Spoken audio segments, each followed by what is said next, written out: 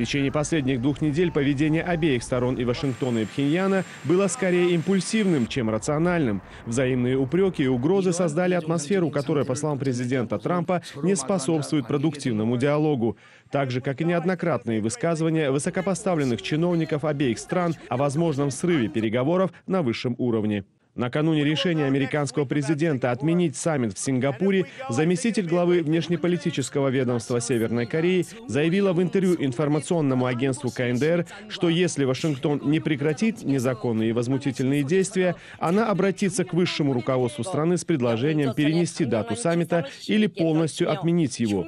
Более того, замминистра оскорбила вице-президента Майка Пенса, а затем пригрозила Соединенным Штатам вероятной ядерной войной если Трамп и Ким не договорятся. Встретятся ли США с нами в зале заседаний или они встретятся с нами в ядерном противостоянии, полностью зависит от решения и поведения Соединенных Штатов. Несмотря на дипломатическую перепалку, Северная Корея начала плановый демонтаж ядерного полигона и даже допустила туда иностранных журналистов. В четверг стало известно, что северокорейские власти произвели серию взрывов на военном объекте. Об этом сообщают журналисты, наблюдающие за процессом демонтажа. В Сеуле эту новость восприняли положительно. В Вашингтоне на капиталистском холме некоторые законодатели изначально скептически оценивали процедуру подготовки к переговорам с Пхеньяном. Обычно саммит, подобный этому, с участием двух лидеров, это месяцы, месяцы и еще раз месяцы, если не годы предварительных переговоров по важным вопросам. Поэтому я всегда скептически относился к подготовке этого саммита.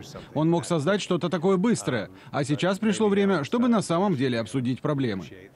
Другие считают оппонента Трампа Ким Чен Ина крепким орешком в переговорах. Ким Чен Ын, так же как его отец и дед, является очень хорошим переговорщиком. Он способен демонстрировать энтузиазм или его полное отсутствие относительно этого саммита, чтобы проверить реакцию президента Трампа. Саммит в Сингапуре отменен. Однако, как отметил в своем послании к северокорейскому лидеру президент США, цитата, «Если вы измените мнение относительно того, что делать с этим крайне важным саммитом, пожалуйста, позвоните или напишите мне».